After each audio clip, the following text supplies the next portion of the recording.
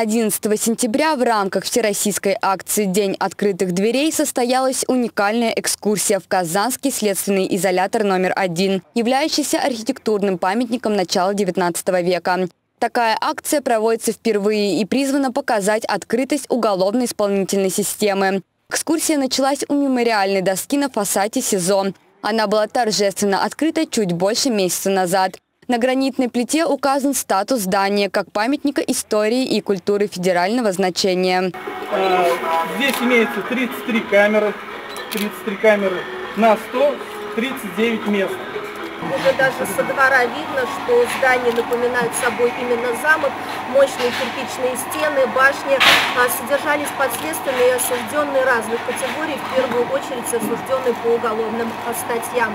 После революции 1917 года здания эти продолжали использоваться как место содержания подследственных осужденных и перешли на баланс одной из тюрем а, Народного комиссариата внутренних дел. На территории СИЗО были показаны режимные корпуса, в том числе числе больничные камеры, молельные комнаты, камеры для несовершеннолетних. Во время показа камер гостям рассказали о неудавшейся попытке побега в 1970-е годы Юрия Кузнецова. Боксер Кузнецов, ожидая исполнения приговора суда под предлогом занятий боксом, бил кулаками в стену камеры. Сотрудники СИЗО заметили, что со стороны улицы от ударов спортсмена осыпала штукатурка. Несмотря на надежность толстых стен тюремного замка, администрация учреждения приняла решение обшить стены камеры металлическими листами. Многие группировки разлучены это так, как, э, знаете, Хади Такташ, Галиакберов по кличке Раджа, Ринтик,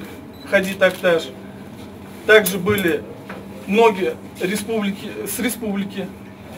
Это 29-й комплекс набережной Челны, Тагирьянские набережные Челны, также поведали о последних днях жизни серийного убийцы и каннибала Алексея Суклетина, ожидавшего смертного приговора в начале 80-х. Участники мероприятия узнали о знаменитых казанских узниках от Емельяна Пугачева до одиозных лидеров организованных преступных группировок конца 20-х, начала 21 века. Квартала, Хади Такташ, Тяп-Ляп.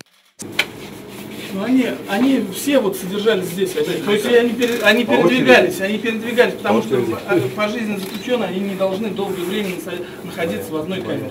Сразу после посещения СИЗО номер один для участников акции был организован интерактив в историю Сибирского тракта. Маршрут экскурсии прошел через места, тесно связанные с печально известным кандальным путем. Конечным пунктом экскурсионного маршрута символично стал памятник верстовому столбу на Советской площади, отмечающему начало Сибирского тракта в городе Казань.